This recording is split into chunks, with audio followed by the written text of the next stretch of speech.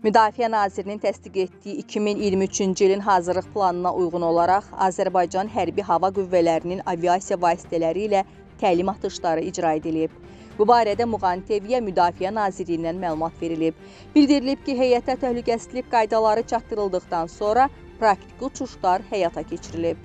Müəyyən edilmiş marşrutlar üzrə döyüş manevrləri yerinə yetirildikdən sonra Su-25 ML tipli təyyarələrdən 250 və 500 kiloqramlıq qanadlı ağıllı aviasiya bombaları ilə yerüstü hədəflərə uzaq məsafədən atəş açılıb. Hərbi pilotların döyüş hazırlığının inkişaf etdirilməsi məqsədi ilə keçirilən təlim atışlarında təyin edilmiş hədəflər dəqiq aviasiya zərbələri ilə uzaq məsafədən məhv edilib. Qeyd edək ki, bu il iyulun 26-sında Azərbaycanın Müdafiə Nazirliyi ilə Türkiyənin TUSAS şirkəti arasında Su-25 modernləşdirmə layihəsi müqaviləsinin imzalanma mərasimi keçirilib. IDF 23-16-cı Beynəlxalq Müdafiə Sənayesi sərgisi çərçivəsində keçirilən imzalanma mərasimində Azərbaycan Müdafiə Nazirinin müavini baş direktor Aqil Qurbanov, Türkiyə Müdafiə Sənayesi Komitəsinin sədri Haluk Görgün və digər rəsmilər iştirak ediblər.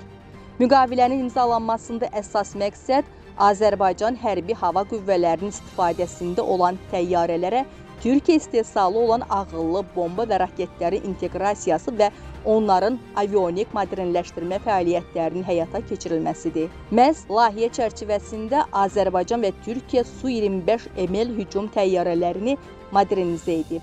Ona Laçın adı verilib.